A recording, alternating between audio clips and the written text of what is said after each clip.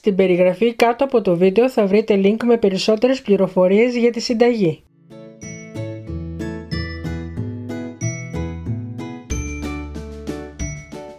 Σε περίμαχο σκιαβός βάζουμε τις πατάτες που είναι σε ροδέλες μαζί με τη ρίγανη, το θυμάρι,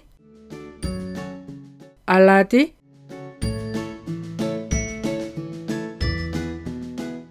ελαιόλαδο και ψήνουμε στους 200 βαθμούς Κελσίου για 20 λεπτά.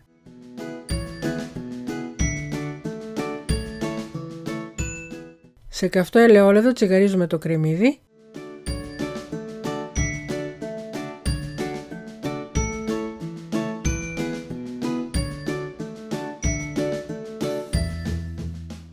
Όταν ροδίσει προσθέτουμε το κοτόπουλο κομμένο σε μπουκές και σοτάρουμε.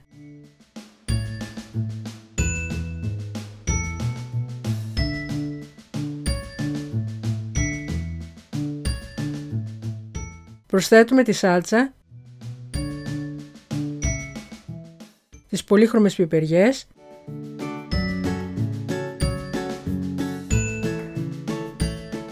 την πάπρικα,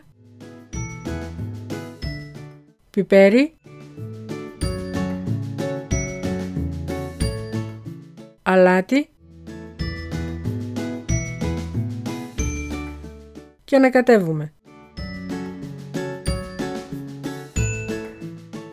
Διαλύουμε το αλεύρι στο μισό κρύο γάλα.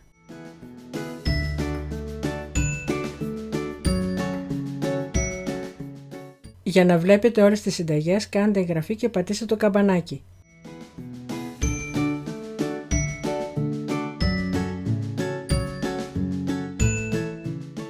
Σουρώνουμε σε ένα κατσαρολάκι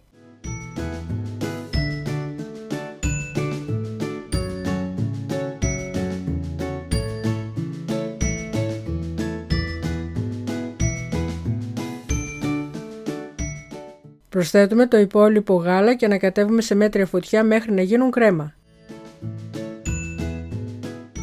Κατεβάζουμε από τη φωτιά και βάζουμε το βούτυρο.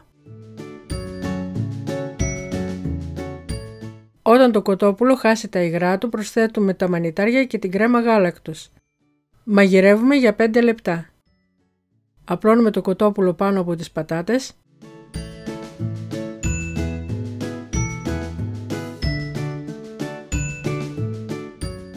ενσωματώνουμε τα αυγά στη χλιαρή μπεσαμέλ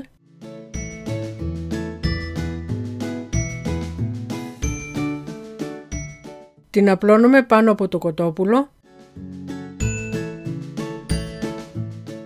Ρίχνουμε το τριμμένο κεφαλοτήρι και ψήνουμε στους 200 βαθμούς Κελσίου μέχρι να ροδίσει.